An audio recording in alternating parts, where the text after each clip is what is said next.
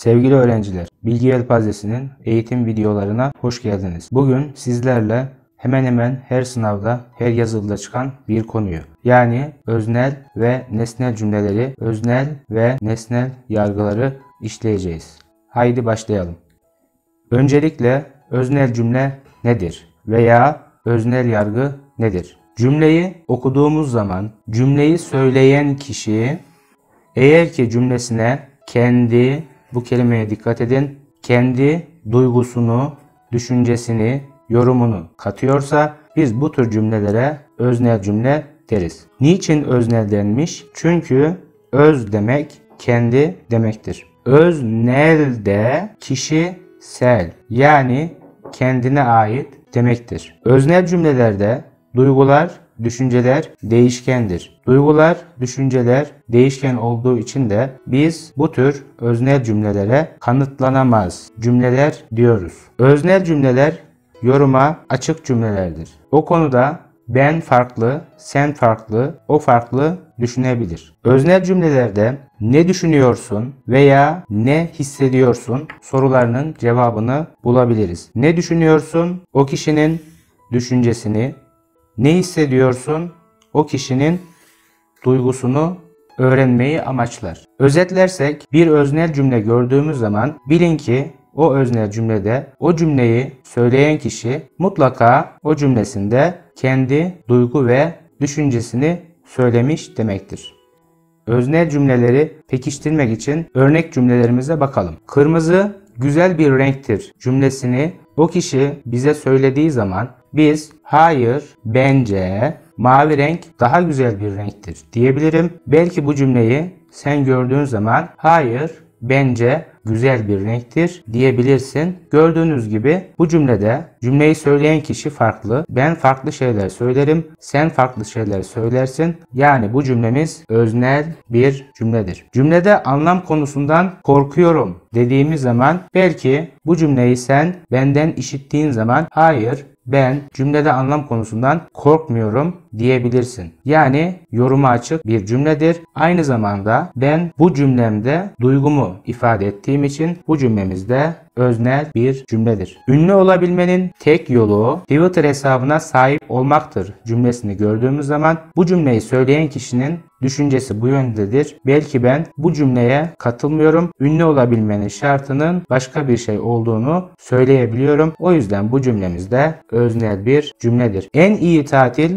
deniz kenarında yapılandır cümlesini gördüğüm zaman bu cümlemiz söyleyeni bağlar. Belki bana göre en iyi tatil göl kenarında yapılan tatil olabilir. Farklı şeyler söylenmeye müsait olduğu için bu cümlemizde öznel bir cümledir. Kalabalığın içinde kendimi güvende hissediyorum cümlesini gördüğümüz zaman evet belki ben kalabalığın içinde kendimi güvende hissediyorum. Fakat sen kalabalığın içinde kendini güvende hissetmeyebilirsin. Kişiden kişiye değişen bir cümle olduğu için bu cümlemizde öznel bir cümledir. Kış mevsimi gerçekten sevilecek bir mevsimdir dendiği zaman hayır bence yaz mevsimi sevilecek bir mevsimdir diyebilirsin. Yorum açık bir cümledir. O yüzden bu cümlemizde öznel bir cümledir. Bu bilgisayar oyunu tam sana göre cümlesini gördüğümüz zaman belki bu düşünceye sen katılmayabilirsin. Belki başka birisi de bu cümledeki düşünceye katılmayabilir. O yüzden bu cümlemizde öznel bir cümledir. Gelelim nesnel cümle veya nesnel yargı nedir sorusunun cevabına. Cümleyi okuduğumuz zaman cümleyi söyleyen kişi cümlesine kendi duygu ve düşüncesini katmıyorsa. Hatırlayın öznel cümlede kişi kendi duygu ve düşüncesini katıyordu. Nesnel cümlelerde ise kişi o cümleyi söylerken kendi duygu ve düşüncelerini cümlesine katmayacak ki biz böyle cümlelere nesnel cümle diyebilelim. Nesne demek madde demektir. Nesnel demek de maddesel, maddeye ait veya maddi demektir. Dolayısıyla nesneler, maddeler kişiden kişiye değişmez. Bakın şu gördüğünüz kalem bir nesnedir, bir maddedir. Ben bu nesneyi gördüğüm zaman buna kalem derim. Sen de görsen bu nesneye, bu maddeye kalem dersin. O yüzden nesneler değişmez. Nesneler değişmediği için de biz bu nesnenin, bu maddenin kalem olduğunu kanıtlayabiliriz. Nesnel neyse odur. Yani bu kalemse kalemdir. Silgi ise silgidir. Masa ise masadır. Kağıtsa kağıttır. Yani biz acaba bu kalem mi yoksa silgi mi yoksa kağıt mı gibi bir yorum yapamayız. Nesnel cümlelerimiz yoruma kapalı cümlelerdir. Sonuç olarak nesnel cümleler herkesçe kabul görmüş cümlelerdir. Yani bunun kalem olduğunu herkes kabul etmiştir. Bu nesneye, bu maddeye kalem denmiştir. Nesnel cümleler herkese göre aynıdır. Toparlayalım. Öznel cümlelerde kişi cümleye kendi duygu ve düşüncesini katıyordu. Nesnel cümlelerde ise kişi cümlesine kendi duygu ve düşüncelerini katmaz ki bu cümlemiz nesne cümle olabilsin. Örneklerle konuyu pekiştirelim. Elinde kırmızı bir kalem vardı dendiği zaman bu cümleyi söyleyen kişinin elindeki kaleme bakıyoruz. Ben de baksam elindeki kalemin kırmızı olduğunu söylerim. Sen de baksan elindeki kalemin kırmızı olduğunu söylersin. Dolayısıyla bu cümlemiz kişiden kişiye değişmeyen, aynı olan herkesçe de kabul edilen bir cümledir. Bu cümlemiz nesneldir. Öğretmenimiz derste cümlede anlam konusunu anlattı dediği zaman ben de o derse girsem evet öğretmen cümlede anlam konusunu anlatmış derim. Sen de o derse girsen cümlede anlam konusu anlatılmış dersin. Yani herkes tarafından kabul edildiği için, aynı olduğu için, kişiden kişiye değişmediği için bu cümlemizde nesnel bir cümledir. Dün kendisine Twitter hesabı açtı cümlesini söylediği zaman bakarız evet kendisine Twitter hesabı açmış deriz. Ben de görsem aynı şeyi söylerim. Sen de görsen aynı şeyi söylersin. Dolayısıyla bu cümlemizde nesnel bir cümledir. Tatil için deniz kenarına gittiler cümlesini gördüğümüz zaman bakıyoruz Olayı sen de görsen sen de o kişilerin deniz kenarına gittiğini söylersin. Bu cümlede ne bir duyguya ne bir yoruma yer verilmiş. Bu cümlemizde nesnel bir cümledir. Kalabalığın önünde iki polis bekliyordu. Ben de görsem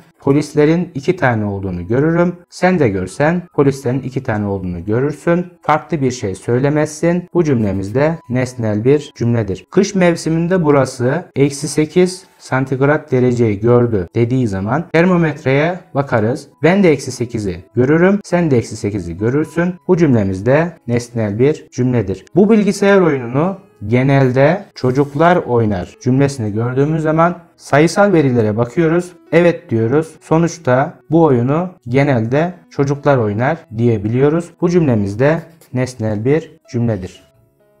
Öznel ve nesnel cümleleri öğrencilerin hemen hemen %80'i 90'ı doğru bir şekilde ayırt edebiliyor. Bunu gören ve soru hazırlayan kişiler de sizleri ters köşe etmek için farklı yöntemler kullanıyorlar ki sizlerin zekasını, anlayış seviyesini daha iyi ölçebilsin sınavlarda seçicilik oluşturabilsinler. O yüzden diyoruz ki ters köşe olmayın. Peki öznel ve nesnel cümlelerde sizi nasıl ters köşe ederler? Bakalım. Unutmayın öznel demek kendi demek. Kendine ait olan duygular, düşünceler, yorumlar demektir. Cümleyi söyleyen kişi o cümlede kendi duygusunu, düşüncesini, yorumunu mutlaka belirtecek. Bakın ders çalışmayı seviyorum duygusunu dile getirmiş. Bunu söyleyen kişi duygusunu dile getirdi edildiği için bu cümlemiz özneldir. Duvarı mavi renge boyarsanız daha iyi olur demiş. Yorum yapmış. Bu yorum o kişiye aittir. Bu yüzden de bu cümlemiz özneldir. Herhangi bir sıkıntı yok. Ormanda piknik yapmak insanı dinlendirir demiş. Gene bu konu ile ilgili düşüncesini dile getirmiş. Bu cümlemiz de özneldir. Şimdi gelelim sizi nasıl ters köşe yapabilirler? Yeni nesil sorularda bu cümleleri şu şekilde değiştirirlerse çok dikkat etmeniz gerekir. Bakın ders çalışmayı seviyorum cümlesine biz öznel cümle dedik. Fakat bu cümleyi ders çalışmayı seviyorum aynen aldı. Daha sonra dedi dedi. Cümleyi baştan okuyalım. Ders çalışmayı seviyorum dedi. Bu cümlemiz artık ders çalışmayı seviyorum deyip bitmemiş, devam etmiş, dediği ekleyerek bitirilmiş. Bu cümleyi bize söyleyen kişi onun ders çalışmayı sevdiğini söylüyor. Eğer ki ders çalışmayı seviyorum diyen kişi bize gelip aynı şeyi bize söyleseydi biz de aynı şeyi derdik. Dolayısıyla aynılık, değişmezlik olduğu için bu cümlemiz artık özneldir değil, nesnel bir cümledir. Duvarın mavi renge boyanırsa daha iyi olacağını dedi bırakmadı. Şuna dikkat ediyorsunuz. Söyledi deyip cümleyi bitirdi. Bu cümleyi bize söyleyen kişi o kişinin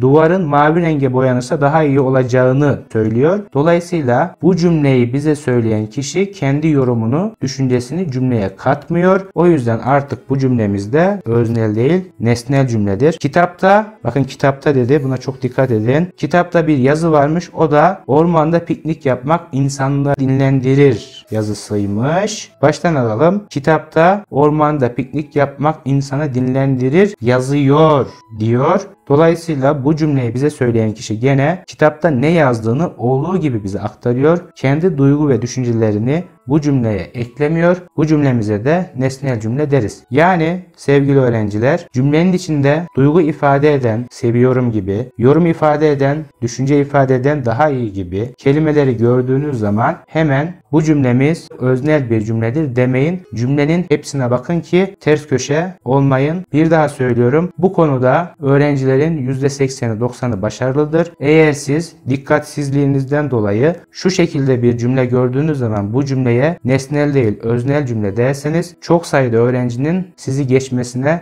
neden olursunuz. Bu da sınav sonucunuzu olumsuz bir şekilde etkiler. Öznel ve nesnel cümlelerde Peki ya aşağıdaki gibi bir cümle görürseniz ne diyeceksiniz? Bakalım nasıl bir cümleymiş. Türkiye'nin başkenti Çorum'dur dedi bir kişi bize. Biz hemen bu cümlede kişi kendi yorumunu katmıştır deyip bu cümlemize öznel cümle demeyelim. Hatırlayalım nesnel cümle neydi? Nesnel cümlede ben o cümleyi söyleyen kişinin söylediği bilgiyi kanıtlayabilirdim. Bu cümlemizde de ben hayır Türkiye'nin başkenti Ankara'dır diye biliyorum. Ben Türkiye'nin başkentinin Ankara olduğunu kanıtlayabiliyorsam artık ben bu cümleye öznel değil nesnel cümle derim. Bir de öznel ve nesnel cümlelerin soru çeşitlerini görelim. Öznel ve nesnel cümleler nasıl soruluyor? Artık sorularda aşağıdaki cümlelerin hangisinde öznel cümle vardır veya aşağıdaki cümlelerin hangisinde nesnel cümle vardır gibi basit soru sorulmuyor. Bunun yerine soruların tipleri değişti. Mesela aşağıdaki cümlelerin hangisinde kişi kendi duygu ve düşüncesini katmıştır diye sorarsa aşağıdaki cümlelerde öznel cümle arıyoruz. Eğer kişi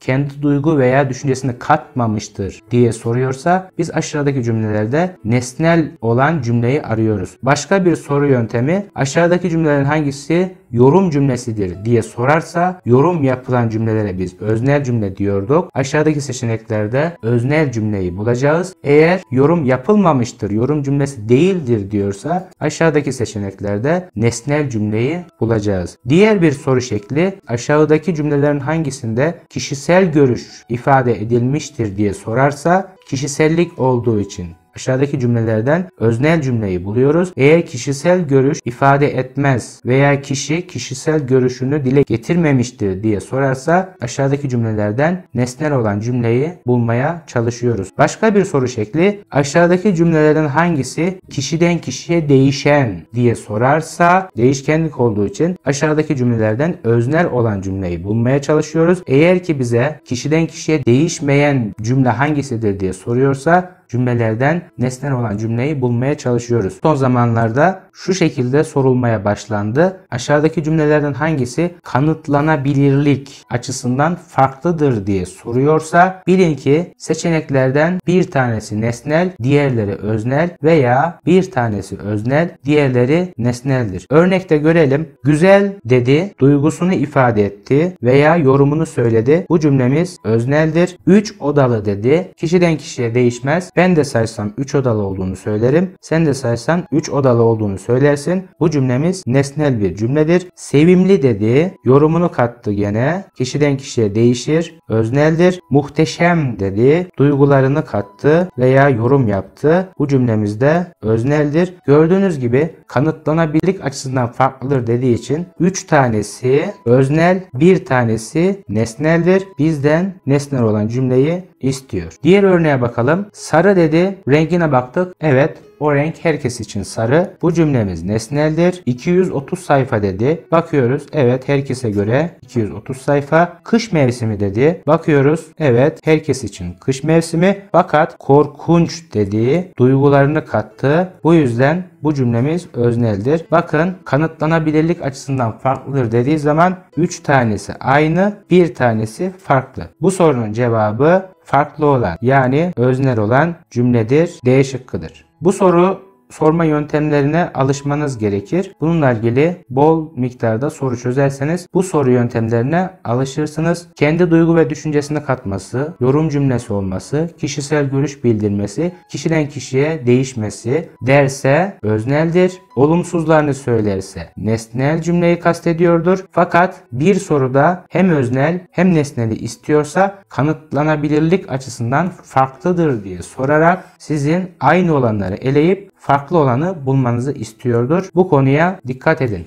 Öznel cümlenin ve nesnel cümlenin ne olduğunu öğrendiniz. Fakat zamanla baktık ki bazı öğrencilerimiz öznele nesnel, nesnele öznel diyebiliyor. Bu şekilde bir karışıklık olmaması için şu şekilde düşünebilirsiniz. Nesne demek madde demektir. Nesnel demek maddeye ait demektir. Şu şekilde bir madde herkes için aynıdır. Bu herkes için kalemdir. Bu bir nesnedir. O yüzden değişmeyen, herkes için aynı olan şeylere nesnel denir. E diğeri de değiştiği için özneldir. Zaten öz demek kendi demektir. Kişinin kendine ait demektir. Bu şekilde düşünürseniz bu konuyu inşallah karıştırmazsınız. Sevgili öğrenciler konumuz burada bitti. Umarız yararlı olmuştur. Bizi izlediğiniz için teşekkür ederiz. Kanalımıza abone olmayı unutmayın. Yeni konulardan haberdar olmak için zil sesini lütfen aktif hale getirin. Yeni derslerde görüşmek üzere. Takipte kalın. Hoşçakalın.